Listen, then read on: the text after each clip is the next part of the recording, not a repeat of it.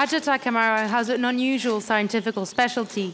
She spends her day tracking down mouldy and rotten yams. There's a cut here, made during the harvest, and there are small openings that were created when the yam was still underground.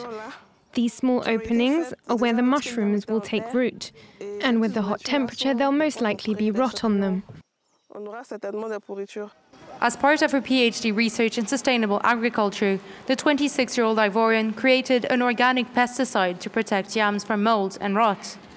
She carried out much of her research in this lab in the prestigious Félix Houphouët-Boigny University.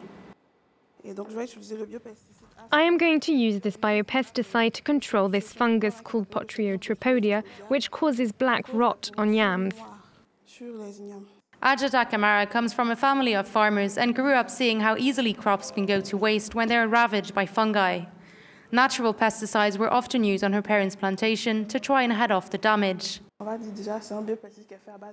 It's a biopesticide that is made from plants. These are plants that our parents in the village were already using as a repellent against insects.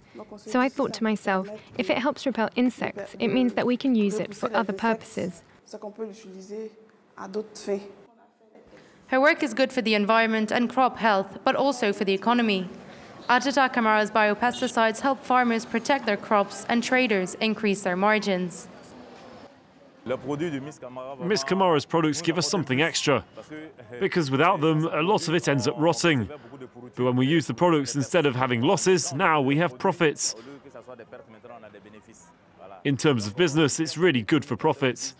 In 2022, Ajata Kamara's research earned her the L'Oréal UNESCO Prize for Women in Science. She was given 10,000 euros as part of the award and is determined to take her research even further.